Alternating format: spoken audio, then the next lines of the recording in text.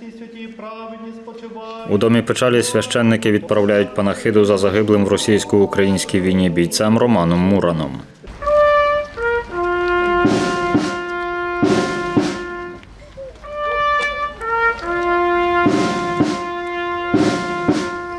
Траурна колона прямує на Миколинецьке кладовище. Тут заступник начальника міського центру комплектування Віктор Білас розповів, 42-річного Романа Мурана мобілізували у січні цього року.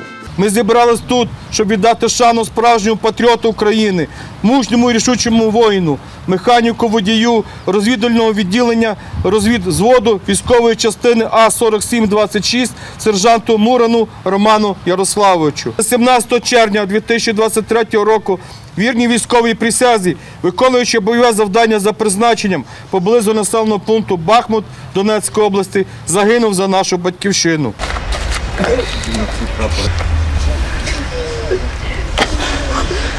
Романа Мурана ховають на алеї героїв Миколинецького кладовища. Попрощатися з бійцем прийшла його подруга Зоряна Юрків.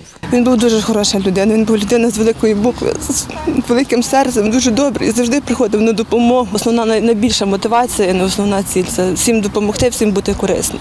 Родич Романа Мурана Ярослав Тесля розповів, загиблий боєць раніше працював у правоохоронних органах. У нього був досвід е, поліцейський, працював тоді, ще Беркут був, мав поліцейську освіту. Потім вже після як покинув цю службу, працював таксистом, мав якийсь бізнес е, пов'язаний з перевезенням. У Романа Мурана залишилися син, мама та сестра. Тарас Бурак, Василь Панчук, Суспільне новини, Тернопіль.